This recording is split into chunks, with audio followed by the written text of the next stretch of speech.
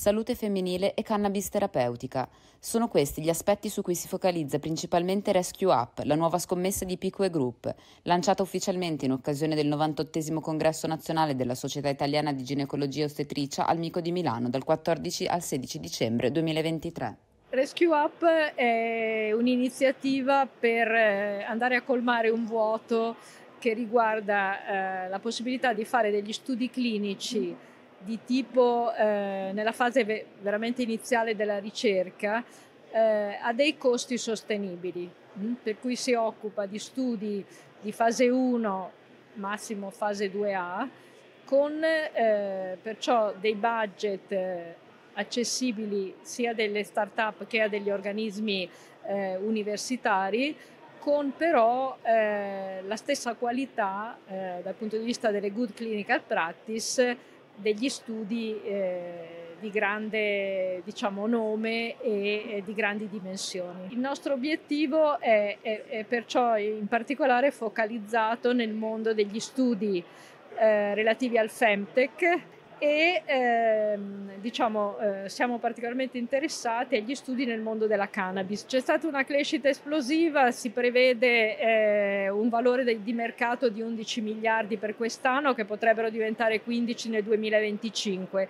Qual è il problema? Il problema è che c'è stata una crescita esplosiva di produzione eh, però di fuori del mercato ricreazionale che evidentemente è limitato solo a, a pochi paesi, tra i quali la maggioranza degli stati negli Stati Uniti, questa produzione in realtà in paesi per esempio come l'Europa ha pochi sbocchi perché la cannabis medica è ancora in una fase molto molto embrionale, sia dal punto di vista della conoscenza dei medici, sia dal punto di vista della ricerca eh, per arrivare ad avere dei prodotti, effettivamente dei farmaci a base di cannabis.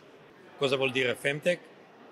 Female Technology, tecnologie che sono collegate alla salute della donna. Female Technology e possono essere di tutto, devices, digital, eh, medical devices, applications. Cannabis è uno dei nuovissimi prodotti che esistono adesso perché la cannabis noi entriamo con i clinical trials. È la prima volta che abbiamo fatto una ricerca di base in vitro e poi in vivo dei vari prodotti del cannabinoidi. Ci sono più di 140 diversi cannabinoidi. Tutti parlano solo sulla CBD e la TH e la THC.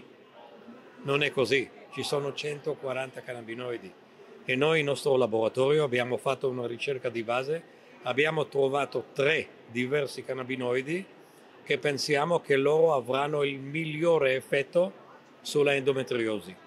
L'endometriosi è una malattia devastante della donna che fino adesso non c'è cura.